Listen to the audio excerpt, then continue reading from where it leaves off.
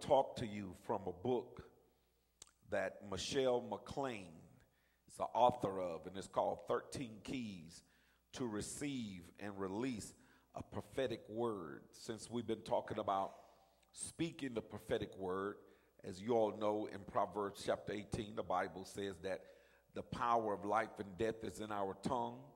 We have the power that works in us, which is the Holy Spirit to change our course, to change everything that's in our but in our uh, destiny.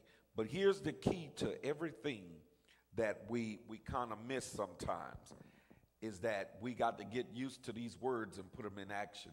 They're called faithfulness and commitment and consistency. Faithfulness, commitment, and consistency because we have to the bible say that the just shall live by faith.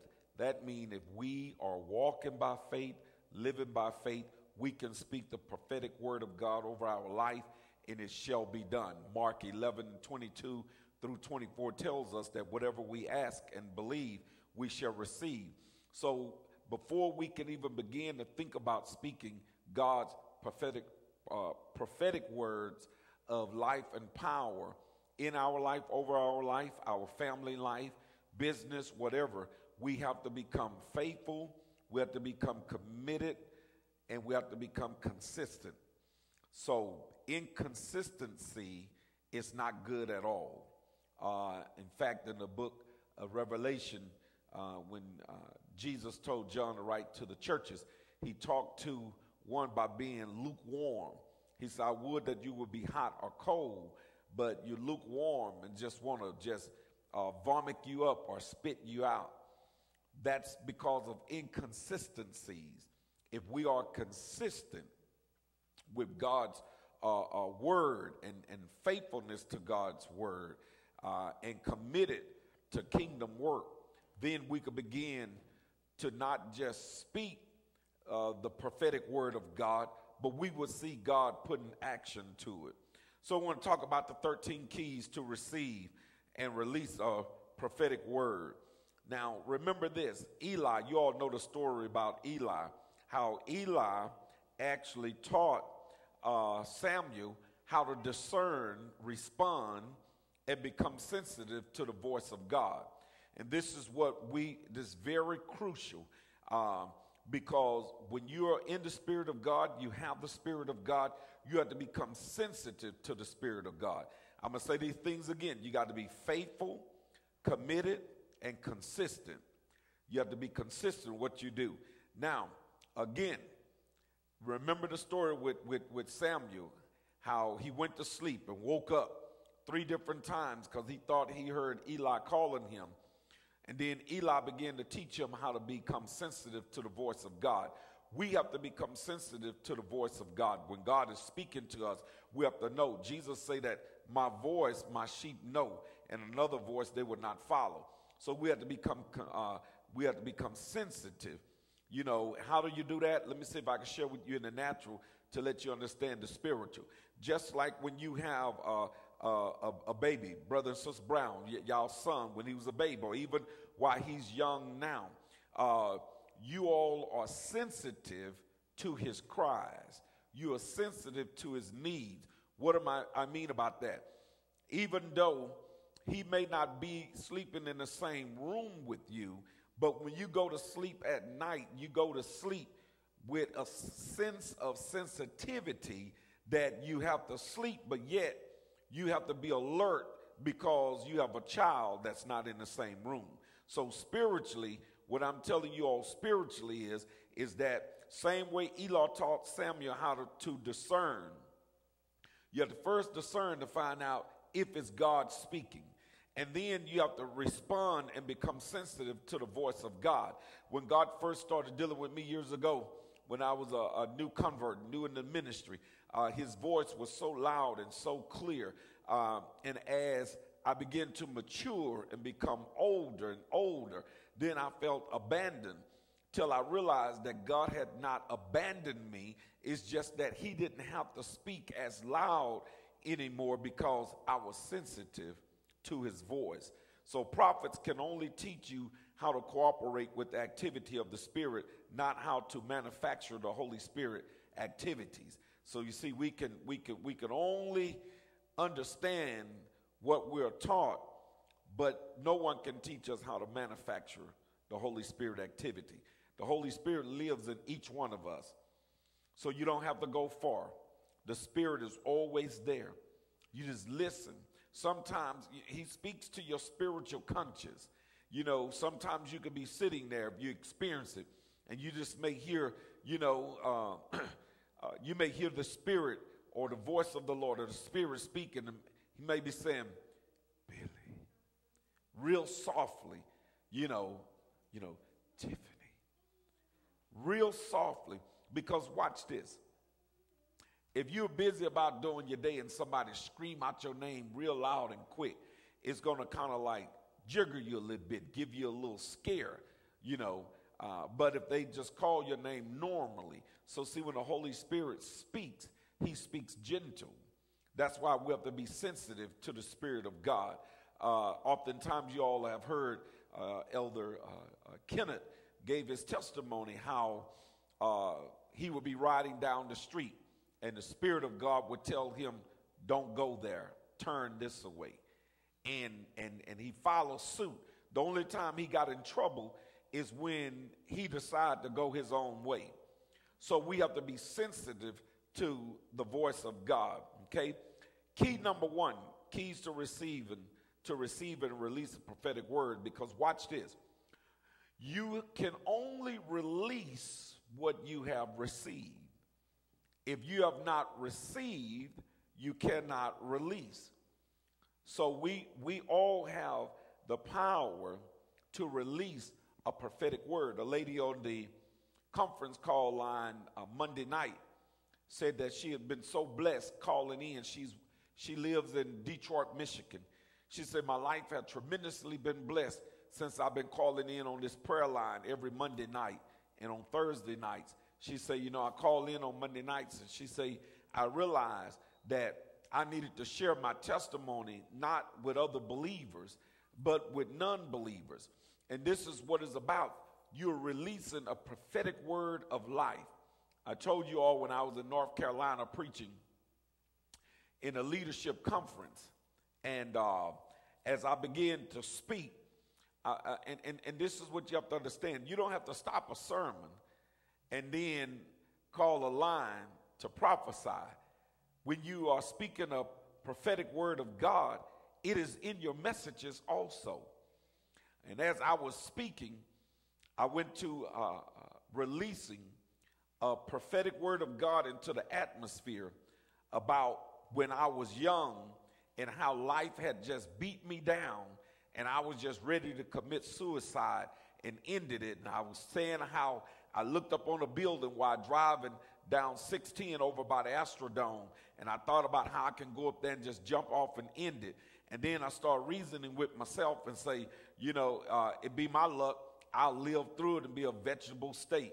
And then I started contemplating on I can just get in a vehicle and go the opposite way on the freeway. Well, when I was speaking that prophetic word in the atmosphere, it was a Caucasian brother that was sitting back there next to Bishop David Howell. And, and I saw him the whole while that, and that's why you got to be sensitive to the spirit because I was, I was preaching. And then all at once, the Spirit of God shifted and I began to speak a prophetic word. And uh, so after the, the gentleman left, uh, Bishop Howell stood up. He said, Bishop, if you don't mind, I just need to give a testimony. Say the gentleman who was sitting on side of me said that when he was walking by, he was on his way to go and get up on top of the building and jump off and commit suicide, but it was such a powerful anointing that when he passed by the door, he had to come in. And then as he was listening to, to your testimony, he said helped him to want to live more. So you see, when we receive, we release. You release the prophetic word of God on any level, whether it's a blessing, whether it's correction, whatever it may be. So the first thing is put on your priestly garments. That's the first keys to receive and release a prophetic word of God. You have to put on your priestly garment. The priestly dimension must return uh, to prophetic people. Prophetic uh, people must put on their priestly garments and spend quality time in the presence of God. You know, when you have that time, whatever that time may be. Sometimes my quality time is like two, three o'clock in the morning when everything is shut down and, and, and I'll just be able to lay there and begin to talk to God and spend some time with God. Uh, so you have to understand your responsibility to minister to God and then listen to God's people. Worshiping God for the testimony of Jesus is a spirit of prophecy. Worship is the doorway to receiving the revelation from God. Remember, I told you all in Psalms 22 and 3 is that in one translation, David said, he said that, that God's throne was in the praise of Israel. And I got excited because I realized that if you would turn there real quick just to look at it, Psalms 22, when I thought about it, I got excited because I realized is that that can even apply to us too. He says, But you are the holy God. The praise of Israel is like a throne for you. So our, our throne, our praise, Brother David was saying, Your praise is that your, you know, uh, the praise of Israel is like a throne for you. So when we think about it, when we get into praise and worship and get involved in it, you know, God loves that because it becomes like a throne for God. I was reading the basic Bible English. So it's like a throne for God. And, and, and what does a throne mean? A throne is where one sit and rules from. You know, so God rules from there. God not only just rules from there, but God also speak concerning us what he want us to have or what he want us to do. So that's what we have to understand. So, you know, we have to understand our responsibility is to minister to God. And, and that's the part that, that I like. When Isaiah said, They that wait upon God shall renew their strength. Now, when he talk about waiting, it's not in the sense you just sitting idle, waiting. It's about ministering to God, worshiping God. When was the last time you told God, God, I love you, you're so awesome? When the last time you just lift your holy hands to God and bow your heads in worship? Just say, God, thank you. You know, when, when, when worship and praise is going on uh, in our service, you know, the, the, the thing that, that you ought to do is try not to focus. Get your attention off people or what people is doing or saying, you know, and, and get into that praise. And then when you get into that praise, just like uh, David said with Israel, their praise is like your throne. Our praise will become like God's throne, where God will, will rest right there, rule from right there. And when He rules from right there, things change in our lives. That's when the prophetic word of God is released, and you can start declaring it. See, when you receive it, then you can declare. You can start declaring, you know, oh God, you know, I declare this, I declare healing, I speak deliverance, I speak this, I speak that. You can do those type things, but only when you receive, when you receive that prophetic word of God, then you can release it, okay? Amen. Y'all still with me? So, worshiping God for the testimony of Jesus Christ is the spirit of prophecy. Worship is the doorway to receiving a revelation from God. So, whatever uh, uh, you're seeking God for, God will give you a revelation. See, your worshiping is a revelation, it's a doorway to receive that revelation from God.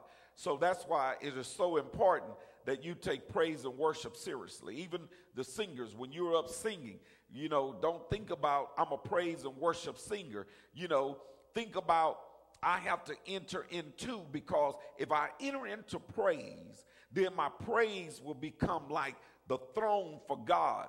And then once I uh, get that throne of God, and then while he sits on his throne, now you worship him by saying, God, you're so awesome. God, you're so powerful. God, if you're sick, you try, God, you're a healer.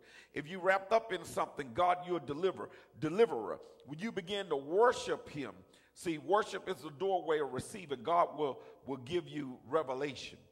That's why, you know, and it's going to take you a while to, to, to really, because if you're not sensitive to the Spirit of God, it's going to take you a minute, but you got to be, uh, you have to progress with it, you know, to see. That's why Sunday I was able to tell certain ones certain things because as I looked at them, I was not looking directly at them natural, but I was looking far beyond them into the spiritual realm, into a whole nother dimension. That's why I was able to say, hey, look, God got a house. It is a house, you can get it, you know. There's a house you're seeking, you can get it. And I was able to tell them the color of the brick and how the door is made. Because when you enter into that spiritual realm of God, you can see things. John said in Revelation, he said, I was in the spirit on the Lord's day. He carried me up and he showed me. So you see, God will show you things. It, it is not hidden from the believers, okay? So now, uh, the Apostle John paints a prophetic picture of the lifestyle of a prophetic, uh, pro- prophetic minister. Look at John chapter 21 and verse 20. John chapter 21 and verse 20. And you know, because I, I like the, the basic English, uh, you all can read it in your version. Uh, that's John chapter 21 and uh, verse 20. Uh, when you have it, say, I have it. John chapter 21. Uh, bear with me. That's the downfall to, to gadgets. Chapter 21 and verse 20. Look what he says in John 21 and 20. Peter turned around. He saw another disciple. It was a disciple that Jesus loved, talking about John. This disciple was following them. He was the man who had been very near to Jesus at the supper. The disciple had asked Jesus, Lord, who will sell you to your enemies? See, this verse shows how we must lay our head on the breast of Jesus and listen to the rhythm of his heartbeat being filled with the breath of God. We in turn breathe unto others the breath of life, receiving from encountering the Creator. We must develop relationship and fellowship with God who knows everything about everything. See, John had that relationship with him. He was called the, the beloved disciple. Uh, you too can become that. God loves us so much. That's why you need to become sensitive, dependent on Him, leaning on Him, loving Him, trusting Him, having faith, because, see, our faith is what pleases God. See, and, and it's just, you know, uh, let's look at the, the next key all of the Lord's words, key number two, all of the Lord's word, no matter in what form we hear them, must be quickened and revealed by the Holy Spirit. Again, we're talking about 13 keys to receive and release a prophetic uh, uh, uh, word of God. We, we talked about, we started talking about this Sunday uh, and last week. So, again, key number two all of the Lord's words no matter what form we hear them, must be quickened and revealed by the Holy Spirit. Don't care if you hear them by singing, preaching, teaching, or whatever. We have to be quickened. Quickened means adding life to ordinary words. See, because that's why the Bible tells us how we speak with our tongue. If we have faith, we add to what we're speaking, to ordinary words. The Greek word for quicken means to make alive and give life by spiritual power to arouse and in, invigorate, invigorate. You know, so see, when we speak words, they are words of life. Think about what John and uh, uh, Peter, the brother, at the gate called Beautiful, and they walks up to the man that was lame. Say, you know what, silver and gold we have not, but such as we have, we give unto you. They grab them by the hand and lift him up. Power Words of power is what we have to do in any situation. The word Jesus speaks has life and vitality. Other words are just dead language. The message can come in a variety of ways flashing of pictures, scriptures, verses, sentence, fragments, or impressions. It doesn't make a difference how. It's just the fact that we have to have faith in the Word of God. Number three, activate faith to operate in the gift of prophecy much as you activate your faith to receive the gift of salvation. See, I'll say it again. You have to activate your faith to operate in the gift of prophecy. Much as you activated your faith to receive the gift of salvation. So, we prophesize according to the portion of our faith. The Bible said that God has given every man a portion of faith. The word proportion refers to a ratio. You can have faith to prophesy to one person or faith to prophesy to a hundred people. It's all based on the uh, uh, proportion of your faith. The Apostle Paul challenged Timothy to stir up or rekindle and arouse from dormancy the gift that was given to him in 2 Timothy chapter 1 and verse 6 when he says stir up the gift that is in you. So we all have that gift, but you have to arouse it. You have to make it alive. See, if you're doing nothing, if you're doing nothing to put your faith to work, then your faith is dead. And if you, if watch this here, if you're doing nothing to put work to your faith, your faith is dead. And if you're working but don't put faith to your work, your work is dead. They work together. So if you have faith, you have to put it. That's why I'll say it again. I always say, I don't like to hear preachers say, uh, my help done came now. Because that means all that 10, 15 minutes you was doing ahead of time means nothing. It was dead language. And watch this. It probably could have been more, more e- e- effective if that person would have just did it in faith. See? See, and, and, and, and, and what we have to get to the point to is that we have to know what it means. Faith is so important to God. Again, the Bible says you can't please him without it. I don't care how good we sing, preach how good we look, how if if there's no faith involved, then we can't please God. And see, let me share something with you. When you begin to receive from God, it's because you have pleased God. See? And the way you please God is releasing your faith into the atmosphere, in, into that dimension where the Bible says that all of our blessings is in heaven with Christ.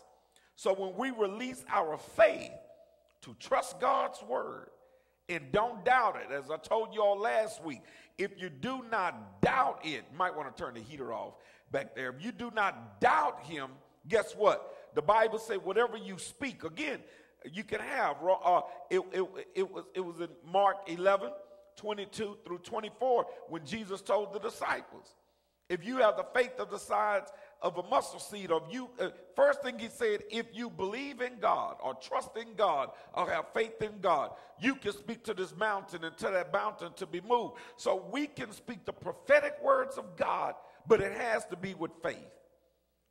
Heaven will move on your words if it's faith. Now, why? Why would heaven do that? Because when you are walking in the spirit, you are speaking God's word. And what did God say about his word? He said, I send my word forth and it shall accomplish what I sent it to do, and shall not return back unto me void. What else he said about his word? That his word is quick and powerful. See, all we have to do is learn to do it by faith. Matthew 7, chapter 7, verse 7 through 11. Uh, the, the, the fourth key is ask, seek, and knock. Ask, seek, and knock. Matthew chapter 7, look at that. You know, and, and this is what, listen, watch this here. And I'm, I'm, I'm going to share something with you all. It makes sense, right? That if you have tried everything and nothing has worked, and someone asks you to try this, it's not going to cost you nothing to try. You may as well try it and see if it's going to work. He says in verse 7 go on asking God for what you need, and then you will receive. Go on looking for what you need, and then you will find it. King James say, knock, and it shall be open, seek, and you shall find. I'm reading the e- easy English, okay? I'm in verse 7. Go on knocking at the door, and then God will open it for you. God will open revelation. God will open vision. God will open the dream. God will open his windows and pour out blessings. See, that, that's how you you cannot buy it. See, most people think when they give their tithes and offering, you're not buying a blessing. You're simply saying, I'm showing you, God, that I'm going to be obedient to your word. I, I, heard, you know, why are we talking about that real quick on tithes? I, I, I never heard it talk like this before, but uh, uh, Pastor Joseph, um, I can't think of his last name, he's the Korean pastor. Pastor Joseph made a whole lot of sense. He said, people say that we're not under the law. He say, uh, exactly, you know, we're, we're not under the law concerning tithes. And, uh, you know, and I can't really get it the way he got it. He made it so plain. He's, because he brought it that we're under that new dispensation. Close to what I told you all is under the same order of Melchizedek, the tithes and the offering. You know, I'm to have to go back and review, see if I can find his message because it was a real point on that. But I want you to focus on ask. Everyone shout, ask, ask. and knock. See, let me, let me see, let me see. Let me see. Let me see. Let, let me try this. Brother Billy, you hungry. Go ask Trina for a piece of bread. See, Shirley, you're lost. Go ask Dominica for directions. You know. See, now, now, now watch this as you come back to your seat. See, just when you have a need, See, yeah, thank you. We, we got y'all. He must be really hungry. Yeah, well, well, look, so now watch this here. Check this out now. Ask, seek, and knock. So, you see, you only going to get what you ask or what you seek and what you knock for. And that's why he say, ask God. See, whatever we need, God has it. We can ask God for a prophetic word. Many are afraid to initiate conversation with the Heavenly Father because of fear of deception or demonic interference. There, you know, notice Jesus states that if you ask the Father for gifts, He would not give you something contrary to what you ask. God, our Father, who is so in love with human beings, loves to hear the sound of a human voice asking and inquiring of Him. That's how much God loves us. That's why the angels say, God, what is man that thou so mindful? See what the, Jeremiah 33 and 3 says, call me and I will answer you. That's what God said. And show you great and mighty things. See, that's what I love about God. When you when you're sensitive in the spirit and you're walking in the spirit and you have faith in God and you call upon God, not only will God answer you, but God will show you. God will show you. You know, God, God, he said in Jeremiah 33 and 3 as he spoke to them, he says, Call me, and I will answer you and show you great and mighty things which you do not know. Mighty comes from the Greek word uh, batsar, batsar, B A T, batsar, S A R, basar. Everyone say basar. All right, which means secrets and mysteries inaccessible things. So you see, you, you don't have to worry about demons and, and interference with demonic spirits. You don't have to worry about all of that because when you are talking to God, there is nothing in between that can hinder you in your relationship with God except your lack of faith, your lack of trust, and your lack of believing in God. So God will reveal the secrets or the mystery to you. And these are how things go. Uh, see, most people think they, they, they look and, and, and they were basically, and, and here's what I never want you all to do, thank you, is that all of us are men and women just like you, all, all of the men and women of God. We all are humans. But here's what it is, like, I, uh, like I've always said, is that you have to learn even if you dislike the man, respect the anointing that's on his life. Because watch this the anointing, and most people say this and they got it so wrong. The anointing is, is not just for an individual, the anointing is for the mass. See, whenever God pour out his anointing upon you, it's not just for you, it's for this world. And see, right now, we just have a whole lot of anointed nothings. A whole lot of people that's anointed but not doing nothing. You know, there are times that the Spirit of God probably speak to you while you in, in the grocery store or at work or something and, and give you specific instructions on to say something to somebody and, and, and you, you, you bail out. First thing you say, I don't know them. They're going to look at me like I'm crazy. That's a stranger. They may beat me up. What the Bible says that if you lose your life for the sake of the gospel, you'll receive it again. You have to realize that God is more powerful than anything. And I'm guilty of it too.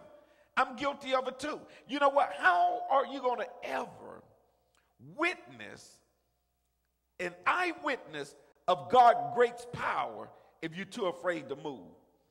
You know, that's why you got to rebuke self. I remember years ago sitting in a restaurant it was a little boy that was in a wheelchair. Uh, he was like deformed, couldn't talk, you know, kind of twisted. And as I was sitting there, see, and that's another thing, when you have the Spirit of God, compassion is so strong in your life. When I looked at that little boy, my heart went out to him.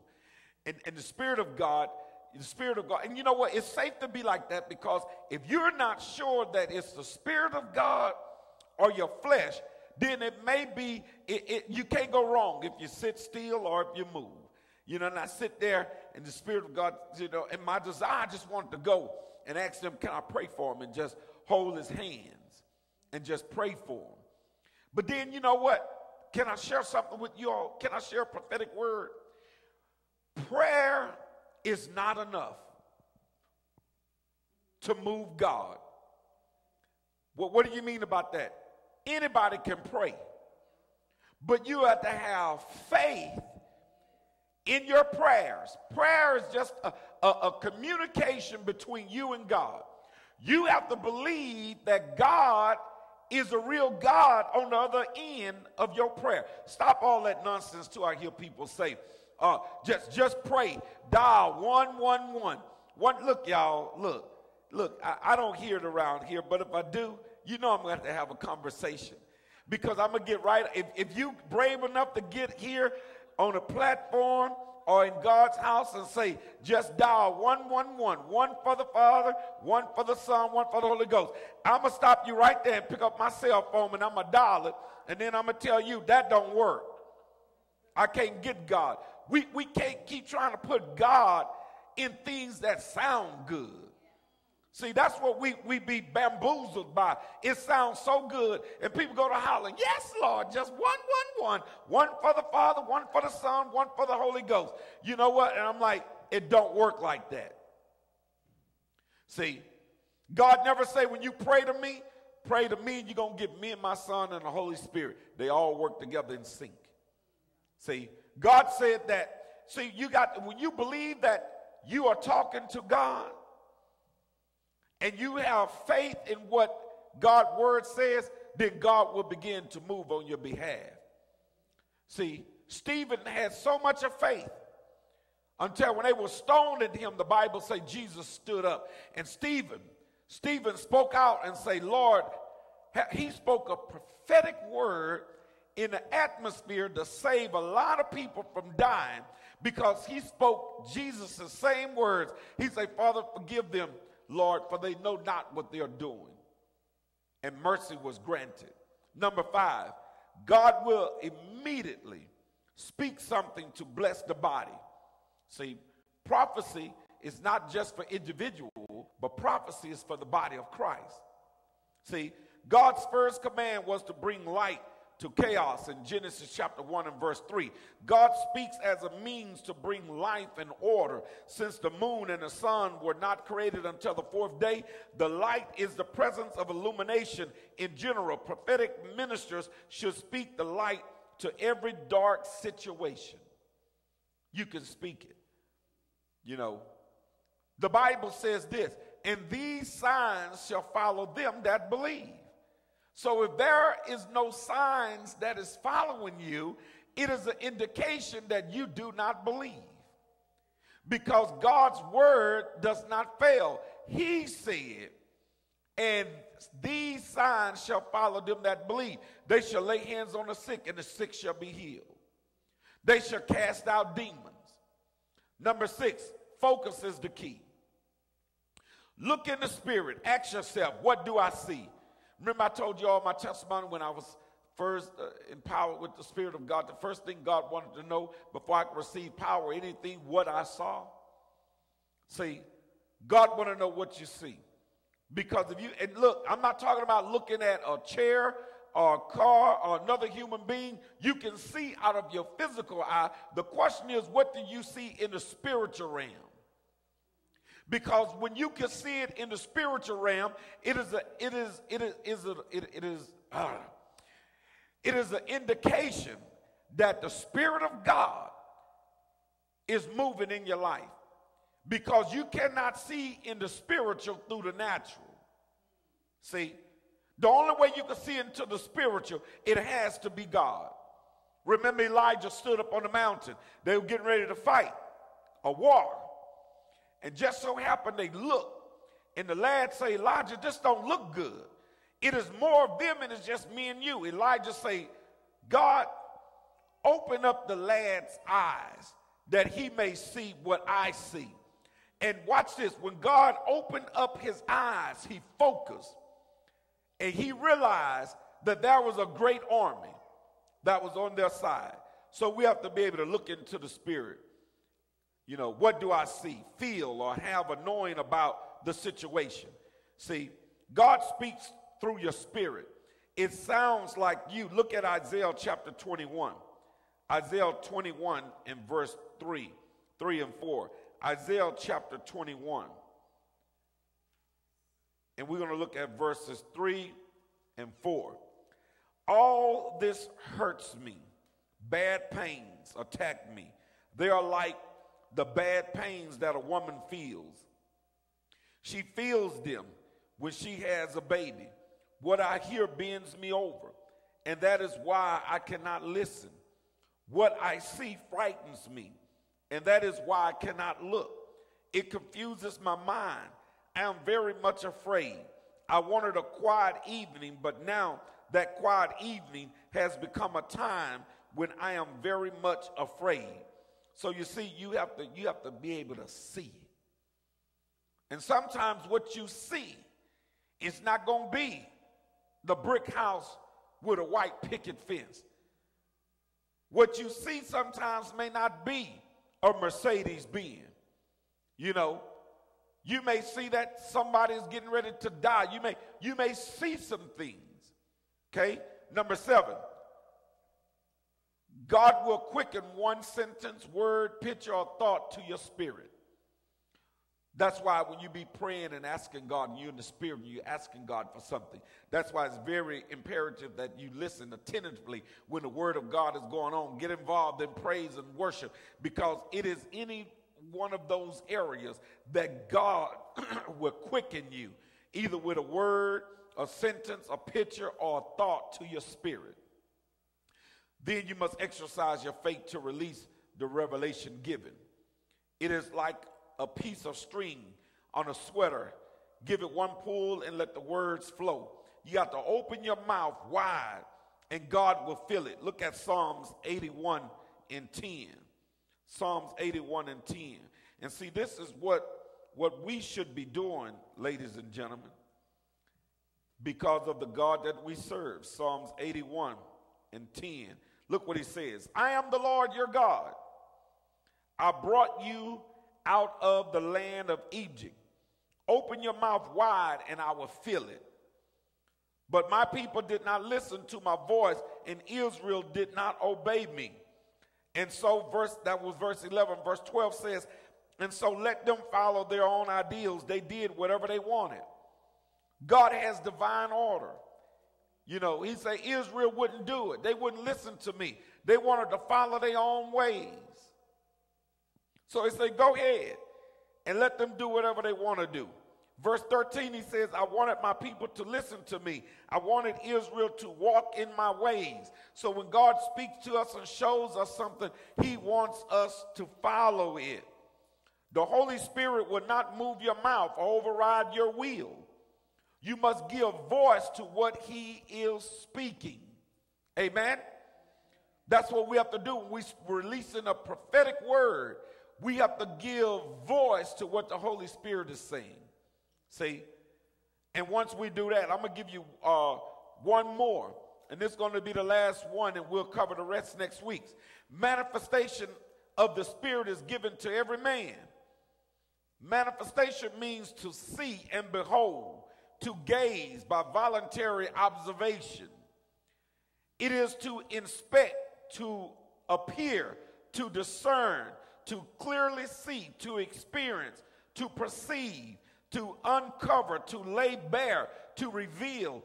It is also to open to sight, signifying shining. Look at 1 Corinthians chapter 12 and verse 7. 1 Corinthians 12 and 7. Look what Paul says. In each one of us, God shows in certain ways that his spirit is present in us. He gives certain gifts to each of us so that we can help each other. See, God gives us the gift to work for each one of us. And those, those are things we have to keep in mind that when God does these things, that's what we have to realize why God is doing them, why God did it. It's, it's, it's for the whole part of the edifying of the body of Christ. And this is what we have to allow to go on. Amen? We have to allow that. If we're going to speak the prophetic word of God, see, everyone shout the prophetic word of God is what I need to speak over my life and over my family's life. See, you have to be able to do it. You have to be able to do it. You know, those things are just prevalent to us. These things are ours. It is ours. This is why when we're not walking in the Spirit, we miss out on all of God's blessings. If you're living in lack, it's because you're not walking in God's will. You're not, you're not listening to God. You're not doing what the word says. So, you know, because if you're doing what the word says, God says that, look, he that comes to me first has to believe that I am God and I'm a rewarder of him that diligently seek me. So God cannot lie. If you're living in lack, it's because you have not learned to trust God or you're afraid to trust God. See? And that's what it's all about. Because, see, whatever your desire is, God has it. He has something that, that can fit your budget. See? God has something that can fit your budget. It's called favor. God will give you unmerited favor that we did not deserve, we cannot buy, but God will give it. But we have to learn to start speaking that prophetic word of God. You know, that's what we have to do. Amen. Do y'all receive that tonight? Amen. Bradell, can you end our we want to thank those that is watching this message tonight. We pray that it is a blessing to you. Tune in with us next week as we continue in our study of speaking the prophetic word of God. Uh, God bless you. Have a wonderful night. We're always praying for you. Amen.